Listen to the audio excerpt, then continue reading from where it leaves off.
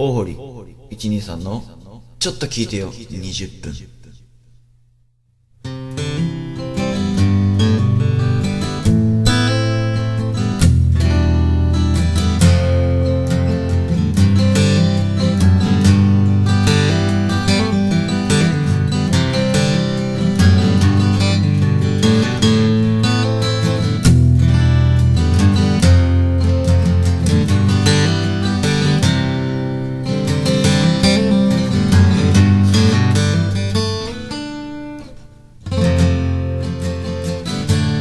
はいどうもこんばんは。大堀一二さんでございます。さあ今日も始まりました。大堀一二さんのちょっと聞いてよ。20分ということでまあ私のまあ新コーナーにしていけたらなということでさあ今日も第2回目やっていきます。さあまあ第2回目に入る前にですねちょっと皆さん失礼ながらですねまあ、ちょっとしたトークちょっとやりたいなと思いますがさあ今日収録している日はですね12月の7日ということでうんもう12月入ってもうね、えー大雪がね降ったりまあ福岡もねすごく、まあ、僕が住んでるところですけど福岡もまあすごく寒くなってねえーもう本当にもう下手したら雪降るんやないかという話が、えーあったりします。まあね、えー12月の7日、うん、明日がね、まあ、僕の尊敬するジョン・レノンさんがね、えーもう殺されちゃうっていう、まあ、そんな日をまあその前日に控えてって言ったらあれですがね、えーまあ、そういう感じなんですがさあまあこういう季節になりますとまあね、えー霜が降ったりね、えーまあなんかこうなると雪も降ったりうん石焼き芋食べたいなとかうんみかん食いたいなとかこたつにこもらなきゃとかね、え僕の部屋はこたつなんかありませんけどもまあなんかそんな感じでもうねあと何日かすればもう新年1月1日2013年ですから入ったなって感じですね。もう1年あっという間、2020年も、まあ、いろんなね、年になりましたが、えーあっという間だったような感じですね。えーということで、さあ今日も、まあ、こういう寒い日、収録してる日、今日日、12月7日、えー6時過ぎですけどもね、えーちょっとね、ぼちぼちやっていこうかなと思います。さて、今日はね、えー、まあ、前回、第1回目がですね、えー、ね、えーギブソンとヤマハ君ね、えーのこの2つをですね、まあ、えーレビューしてみようということで、まあ、比較じゃないけどね、えーこの2本の音色をそれぞれ聴き比べてみましょうということで、えー第1回目、えーフィンガーピッキング編やりましたが、今日は、えーもうバリバリ、えーフラットピッキング。もうね、今日ね、これね今ちょうど夕方6時なんですけど、えーもう時間的に、帯的にはまだまだ、ね、ガンガンいける。そういう感じなんでね、今日ね、じゃあストロークをね、もうこんな感じでやっていきますよ。もうね、あ、もう引いちゃった。あらら、フライングしちゃったな。今日はちょっと、あれかな。もうちょっとあんまり喋りすぎたらいかんな。うん、そろそろややらなあかんけどやな。えー、よし。もうすでに聞こえてますね。もう今日はね、えー、っとね、えーもう早速やっていきますがね、えー今日ストロークでガンガン、フェンダーのね、えーフラットピック、これミディアムピックですけどね、やや柔らかめのこのピックでね、えストロークを、まあ、ヤマハのストロークとギブソンのストローク、ね、比較していこうと思います。さあ私、お待ちかね。さあ、ギブソン J45。ね、僕の家に来てちょうど1年経とうとしてるこの J45 君。ね、アメリカのワーキングホースなんて。ね、え非常に武骨なサイドバックはマホガニー、トップはスプルースで、白黒のモノカラーの60年代カラーを再現した2011年製のモデルです。ということで、さあ、えー前回はね、フィンガーピッキングで非常にあの、6弦と5弦がね、すごく強調された、えーような感じの、えーまあ、3ピックをつけてたって影響もあるんだろうけれども、やっぱそういうところがね、非常に強いなっていう感じがしますが、さあやっていきましょう。じゃあね、もう、早速考えていきます。じゃあ G の巡回でいきます。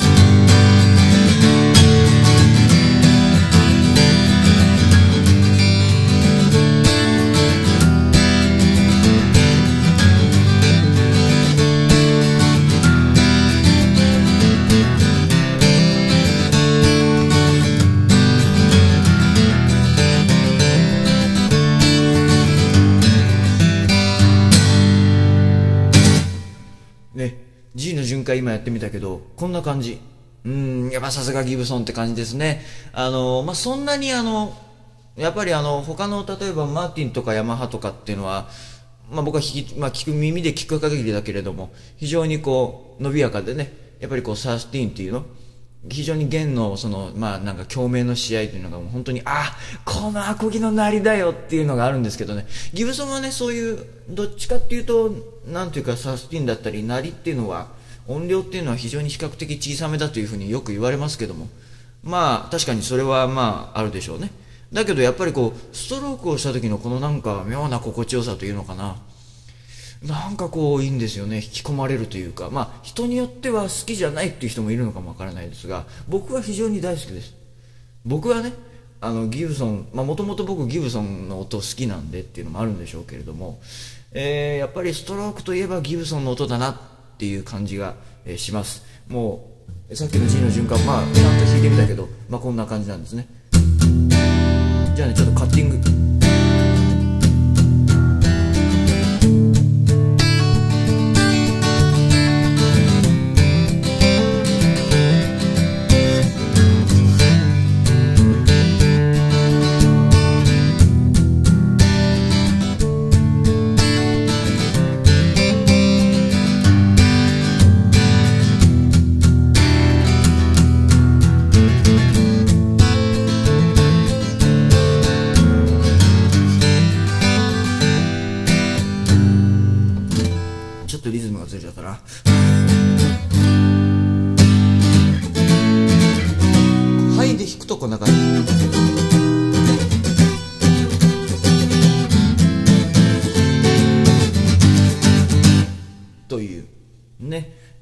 と今カッティングやってみました。じゃあね今度はちょっとゆっくり。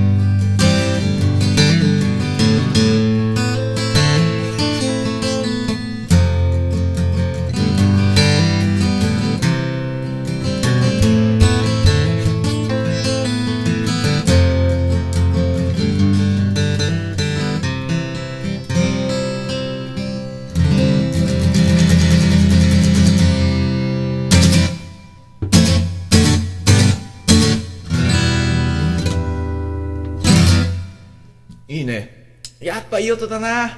うーん、なんかやっぱいいな。もうなんかいいなとしか言わないですけど。まあね、まあ、これあの、ボスの BR600 で撮ってるんですけど、まあ、人間の耳で聞こえるのとマイクの音っていうのはちょっと違うみたいで、まあそうよく言われることですけどね、あの、周波数なんかもカットされてっていう。まあただまあ抑えたら抑えたで、ああ、マイク乗りがいいなとかいうのもあったりするし、それは個体差があるんだろうけれど。僕はね、やっぱあの、まあ先ほど言いましたように、まあこれギブソン、僕この J45 のについての動画っていうのは、まあ動画というか、そういう音、なんていうのかね、アップロードした分に関しては多いんですけど、うん、ギブソンはもう何回、2、3回ぐらい実はレビューやってるんですけどね、えー、それはあの、まあ僕の以前のアップした動画から見ていただければわかるわかるんですけどね、もうあまりにももう感動しちゃったもんで、もう大晦日前、忘れもしない。ね、大晦日前にですよ。もうこれを買った時のこの感動をね、もう久しぶりうわー待てよ。うわ俺の俺の尊敬するいろんなミュージシャンの方々があこんな音出したらうわーと思ってもう感極まっちゃって。いやまあ感極まってって別に泣いてもないけどね。いやいいなと思いましたけど。あら今日はギターよりトークの方が多いなーって気がしますけどね。あしまった。今日はアルペジオやらないって決めたのにな。でまあこんな感じであのギブソンのストロークはまあこうやってやっぱりこう低音がねどうしてもこう低音をこう強調したくなるというか、まあ、僕の弾き方がそれはあるのかもわかんないけど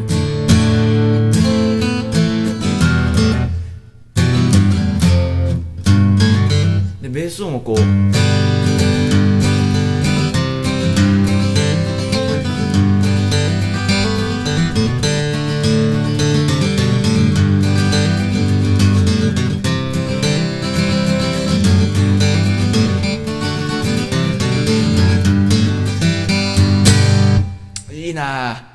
ぴったしは ま。あそういうことでね、まあ僕の家にね、来て1年目になりますがね、えー、まあかれこれね、えー、まあまだまだね、引き込んで、まだ引き込みがまだ足りないですから、これからね、多分伸びていくんじゃないかなと思います。さあ、ストロークはギブソン、こんな感じです。じゃあ続けていきましょう。2本目。もう日本を代表するですね、もうこれ日本の風情あふれる。まさに、日本のジャパニーズアコギ。まあ、ジャパニーズアコギに限らず、ジャパニーズギターと言ってもいいな。えー、のね、やっぱりもう、先駆けと言っても過言ではない。さあ、えー、日本の、まさに、ザ・ジャパンという感じの、えー、ギター。まあ、前回も紹介しました、ヤマハ LA38JX をちょっとね、もうすぐ後ろにいますからね。ちょっと待ってね。さあ、ヤマハ君来なさいと。今日ね、ちょっとね、山田君ね、もう今日はねどっちかっていうとギターよりトークの方がね多すぎるからね早くやらんかいって言われてるんだから。ねちゃんとした音出してくださいよ。あ怒られた。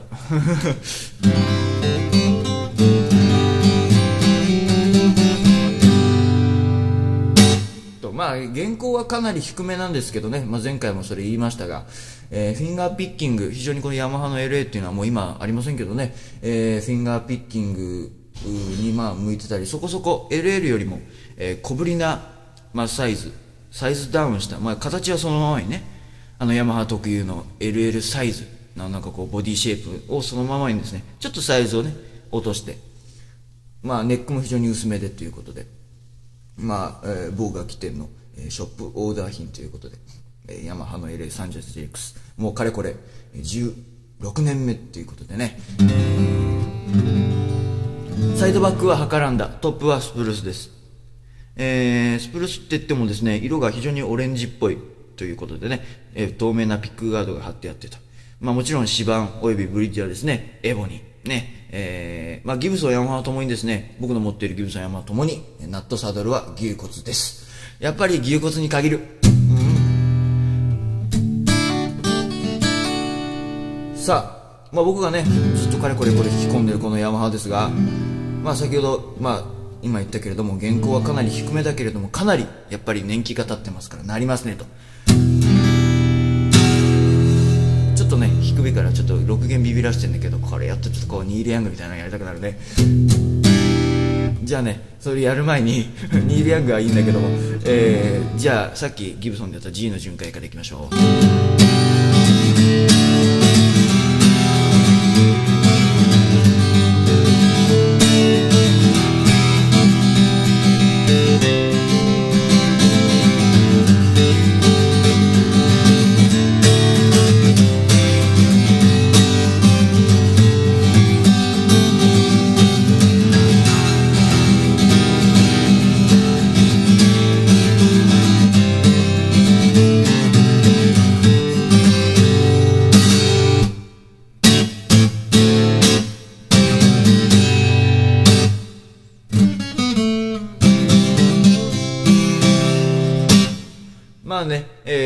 が低い分、まあ確かに、うん、低音とか、まあ、音量は、まあ音量自体は低くなってるんでしょうけどね。えー、でもやっぱりかなり鳴ってるし、まあやっぱり僕が初めてこのギターのストロークをガーンとやった時に、うわ今まで、まあ、えー、やっぱ1万2万とかね、えー、そういうギターをね、やっぱり初心者ですから使ったんです。で、お前に、お前、ある人からもらったんだけども、身内からね、お前にはこのギターは合わないだろうとか言ってね、えー、価格に見合わない。お前の技術なんかにね、まあ当時ですよ。今でこそ少しはね、マシになりましたが、えー、お前の技術でヤマハ譲りたかねえよとか思って、ね、別に欲しいって言ったわけじゃないけどね。うん、まあ結局もらっちゃったんですけどね。うん、いや、弾いた時は、うわこれかヤマハって、ヤマハいいなーとか思いまして。さあ、じゃあそのカッティングやってみようかな。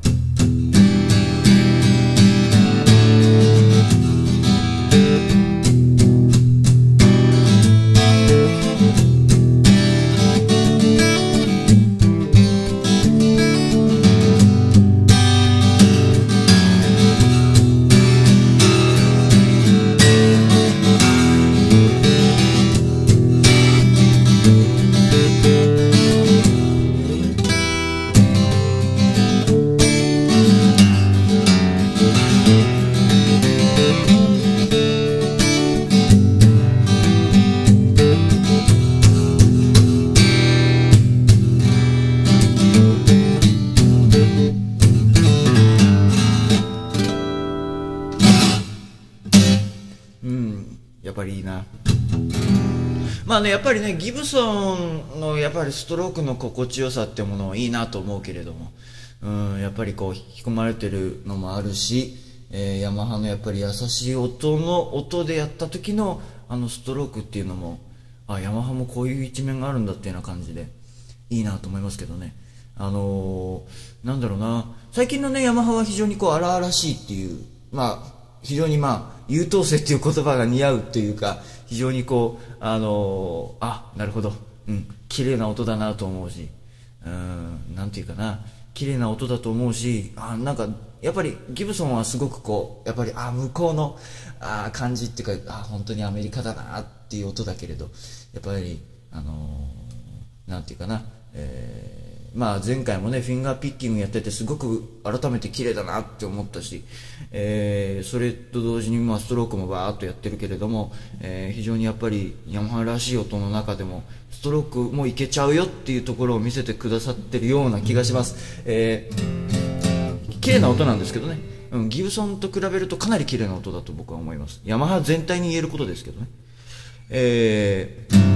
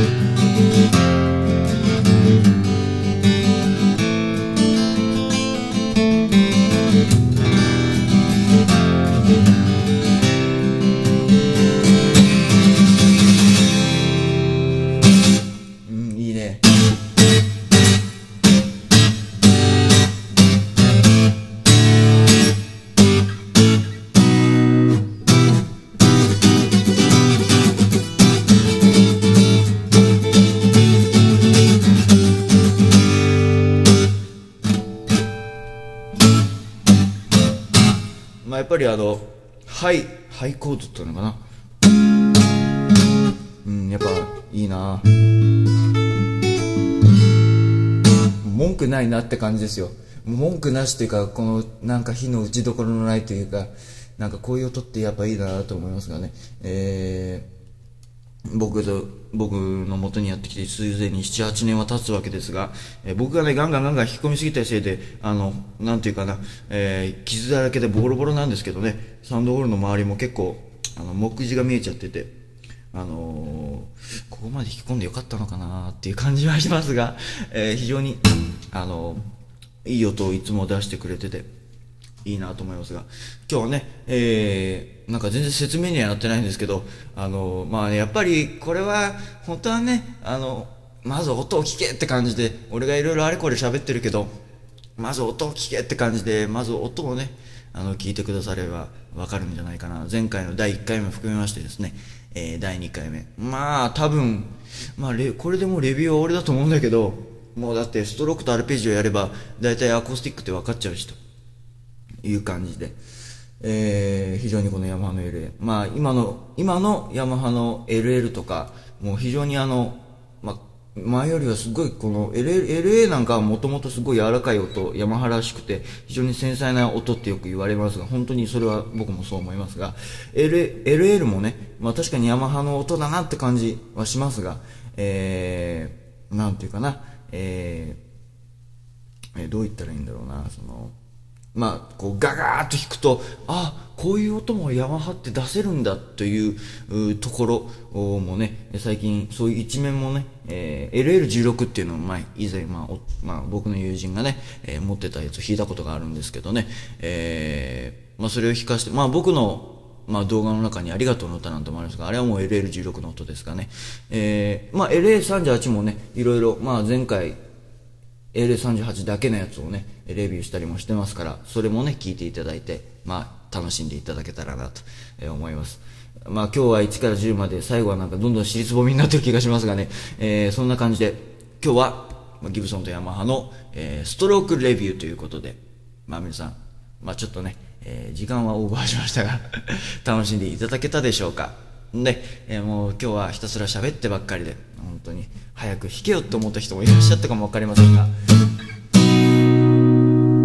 本当に今日はね、えー短い間でしたが、えー第2回目これにて大堀123の、えーちょっと聞いてよ20分でした。